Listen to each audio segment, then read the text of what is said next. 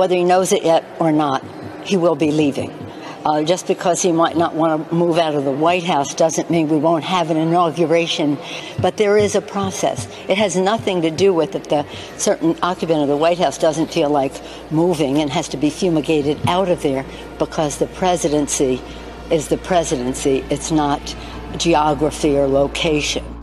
Because the presidency is the presidency. It's not geography or location. Because the presidency is the presidency. It's not geography or location. Presidency is the presidency. It's not geography or location.